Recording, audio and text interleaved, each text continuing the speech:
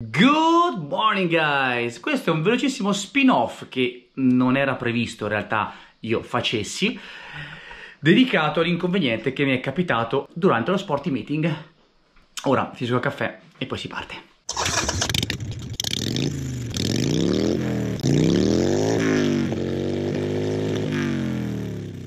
Tutta colpa di questo stronzo qui che ha rotto la chiave qui dentro nel far manovra con noise avendola qua con lo stinco ho piegato la chiave. Bene ora me l'hanno tolto loro come avete visto.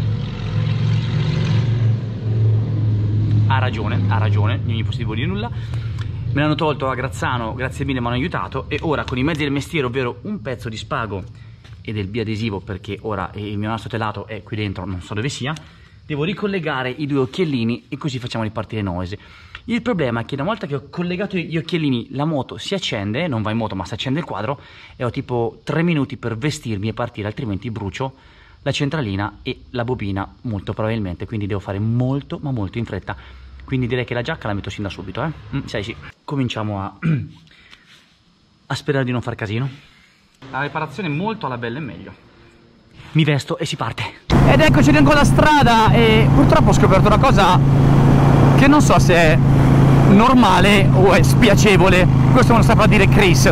Mentre venivo giù con lo stesso crocco, tutte quante le spire conta chilometri funzionavano.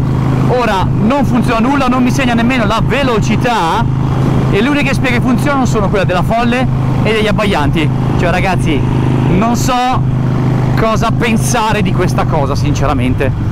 Ho le gambe che mi fanno noise noise noise dalla paura. Porco mondo! in questo caso senza fasciarsi la testa prima del dovuto direi che è il caso di buttarsi giù ed andare da Chris oh.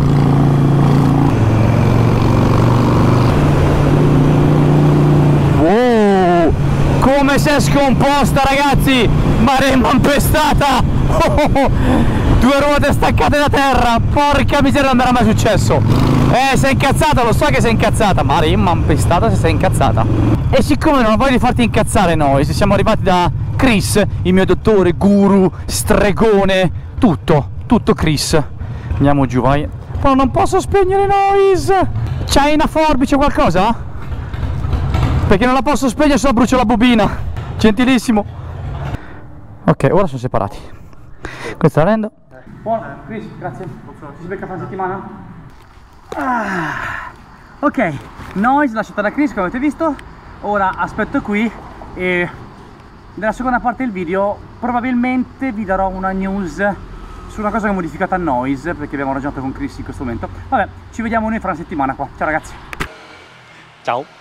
Via, via, via. Allora, non è passata una settimana, ma bensì due e siamo di nuovo in casa Chris. Siamo di nuovo da Chris. Ciao bell'uomo. Come stai?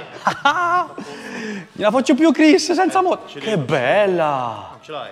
Guarda che figata. Firenze Motorcycle. Bella. Bella bella. Eccola. Eccola. bella. Pago e ci vediamo in moto ragazzi. Ciao Chris. Ed eccoci in sella! Abbiate pazienza se non ho acceso subito la telecamera, ma ho voluto prendere qualche chilometro per rendermi conto e prendere confidenza con questi nuovi freni che la prima sensazione che mi piace tantissimo è della leva che tira sin da subito perché prima avevo tutte quante le guarnizioni praticamente finite e per poter frenare a fondo dovevo quasi quasi arrivare a fine corsa con la leva del freno e ora quando inizio a frenare non c'è più quell'attimo vuoto di incertezza, quel lag nell'azione della pinza freno. Come tocco la leva freno per frenare, subito la pinza si mette in azione per mordere il disco freno e inizia effettivamente a frenare all'istante.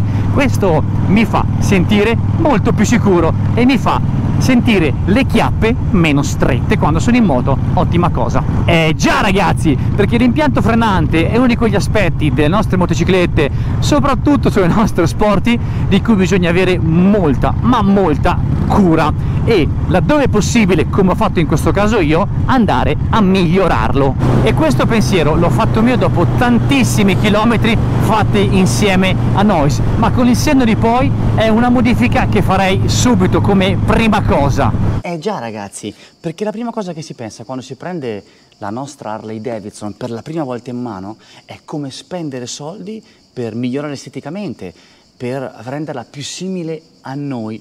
Però dopo 5 anni di esperienza in sella Noise, dopo tanti chilometri fatti come ben sapete, mi sento di consigliarvi di spendere i vostri primi soldi per migliorare, uno, le sospensioni perché sapete bene essere un punto molto debole, ma soprattutto per migliorare il vostro impianto frenante, che è un altro aspetto, ahimè, molto debole delle nostre moto. Ed eccolo qui il disco flottante che io ho montato su Noise, anche molto bello a vedersi con la parte interna così nera, veramente molto bello. Il disco flottante si chiama così perché non è un disco fermo, ma è un disco che nella sua sede ha la possibilità di potersi muovere un pochino, ovviamente qualcosa di millesimale. Questo permette di andare a neutralizzare il movimento delle pastiglie in fase di frenata, perché quando voi andate a pinzare in fase di frenata molto violenta o anche più leggera, le pastiglie non sono ferme, tendono un pochino a oscillare e se il disco è flottante, quindi si muove, tende a seguire il movimento delle pastiglie e avremo una frenata sempre costante e quindi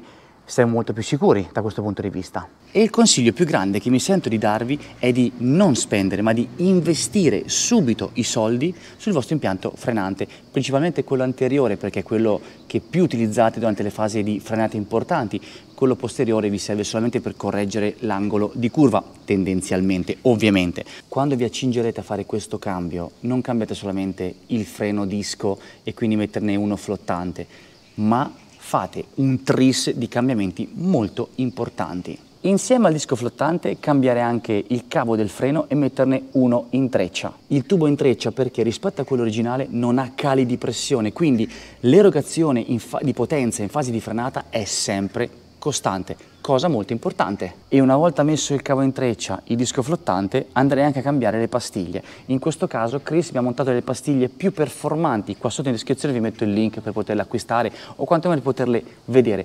Il tutto insieme una combo perfetta.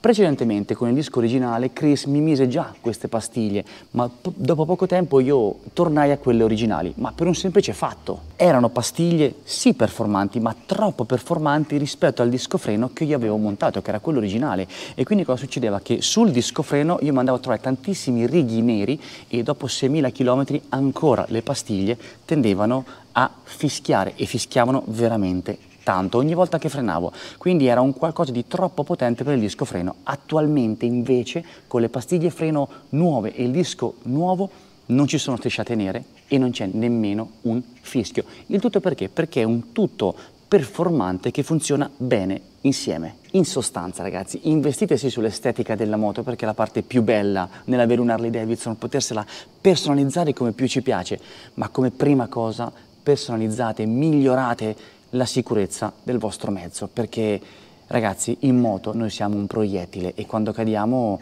ci facciamo molto male e un impianto frenante all'altezza della situazione ci può veramente salvare le chiappe. Non mi rimane che ricordarvi di iscrivervi al canale e di cliccare anche sulla campanina per rimanere sempre aggiornati.